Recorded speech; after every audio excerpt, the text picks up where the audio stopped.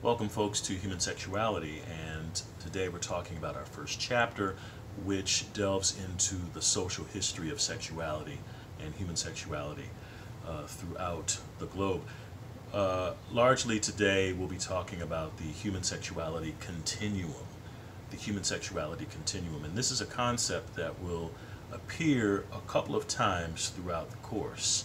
What we mean by a continuum is we're talking about a range of something, a range of possibilities concerning sex and sexuality.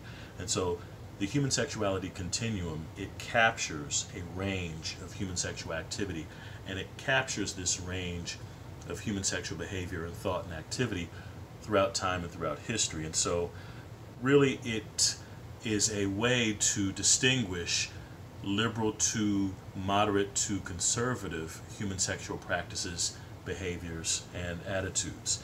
So, unique civilizations, individuals, and societies, they are all at different data points, if you will, or at varying points along that range over time.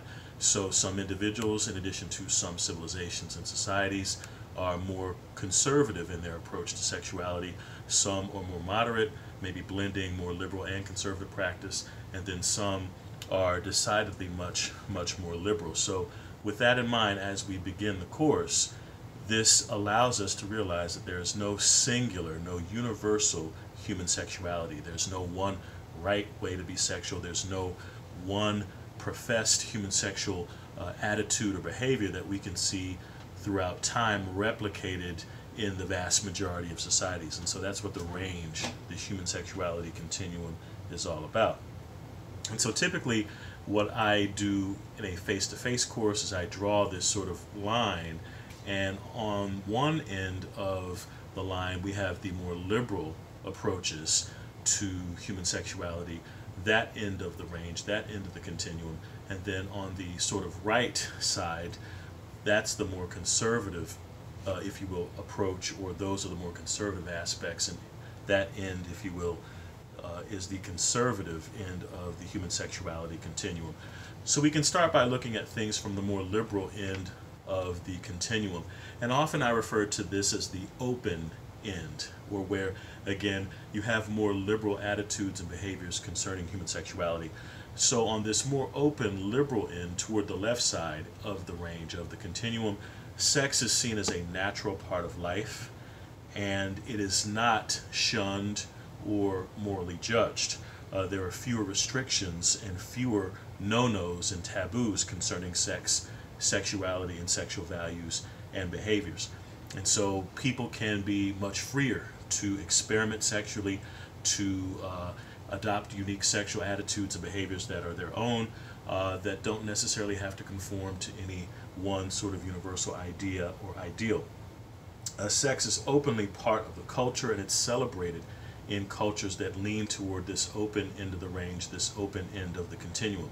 So good examples uh, would include the ancient Egyptians as well as the ancient Greece, ancient Greeks and uh, the ancient Romans. And you'll be learning about some of this as well looking at uh, the videos for this week. Uh, also, early Mesopotamian history is a good example of more liberal, more open practices to human sexuality. So often on this end of the range too, sex and spirituality can conjoin, they can combine.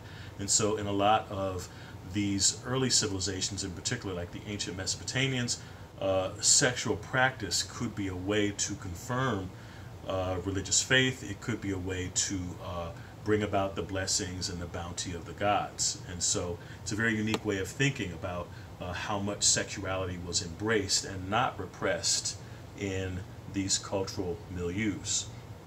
Marriage is not the only, I, you could probably imagine that marriage itself is not the only uh, acceptable environment or realm within which sexual activity can occur. So sex could take place and often did take place extramaritally or having nothing to do with marriage. Sex was seen as, again, a natural part of life that people would ordinarily assume, again, with fewer restrictions and prohibitions.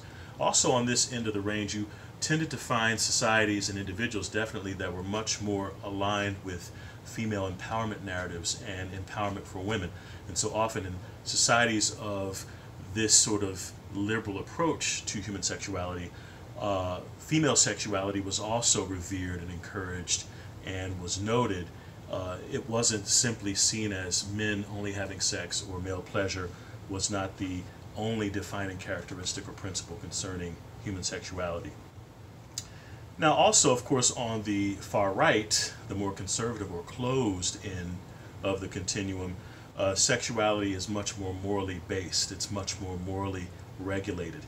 Uh, in a lot of respects, it, with respect to societies that lean toward that end, uh, is seen as unclean. It's seen as competing with a wholesome, good, healthy relationship with God for societies and individuals and cultures that were much more religiously based. And so, uh, as you can imagine, if a culture or a civilization leans this way, particularly if we think about the ancient Hebrews or the early Christians, if they lean this way, they again tend to see the moral basis uh, as being fundamental to how we approach human sexuality, and also that it needs to be regulated. Sex needs to be regulated because it may compete with a healthy relationship with God. And so, in some cases, even in old texts, the idea is that, well, God is the ultimate lover. That's the person that you're ultimately supposed to uh, be thinking about and not thinking about a life partner.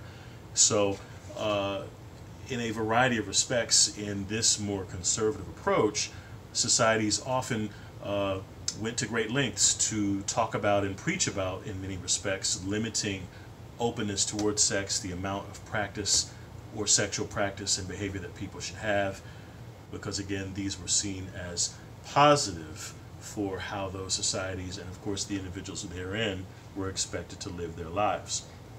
So, again, this continuum has a vast amount and accounts for a vast amount of human behavior. You've got a lot of societies and cultures that are sort of also a blend of those liberal and conservative practices. If you think of the modern day United States, if you think, for instance, of ancient uh, China or ancient India, those are good examples of society, societies, if you will, that borrowed from both liberal and conservative approaches. Uh, Native American cultures and civilizations are also ones where, again, with a vast uh, maelstrom and variety of tribes and approaches that tribes had to a variety of affairs, including politics and sex and gender. Again, it's easy for all of that to be summed up as to say that Native American cultures and civilizations tended to be sort of at the midpoint, a blending, a melding of liberal and conservative approaches to human sexuality. So, with that, this continuum allows us to sort of get things going and helps us begin. One thing to keep in mind as we go through the course and as we start looking from this continuum standpoint. Keep in mind that the continuum is not fair or democratic.